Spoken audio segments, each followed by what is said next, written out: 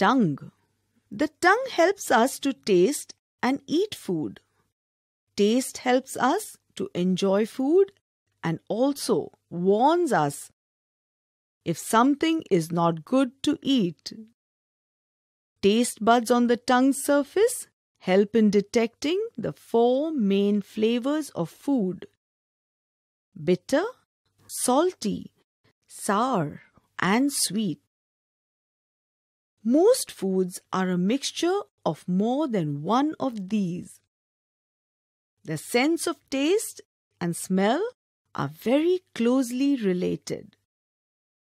There are more than 10,000 tiny taste buds clustered around tiny bumps we can see on our tongue. Nerves inside the taste buds send messages to our brain about what we are tasting. Babies have taste buds all over the inside of their mouth. But some taste buds die as one gets older. That is why old people complain that food does not taste good. Nose The nose helps us to breathe and smell. It is very sensitive. It can detect many different smells from the air that we breathe in. When we sniff, air gets sucked into our nose. It passes through the tiny hairs that line the nasal cavity till it reaches a membrane which is full of nerves. These nerves send signals to the brain, and that is how we distinguish between different smells. The nose adds tone to our voice. Try this.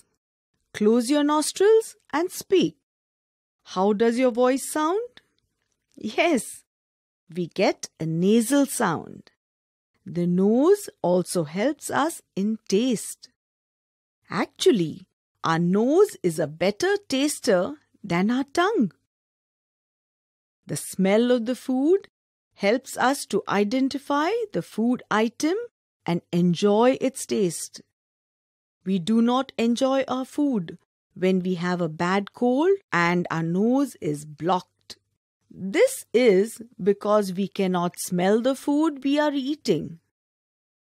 For most animals, the sense of smell is more important than sight.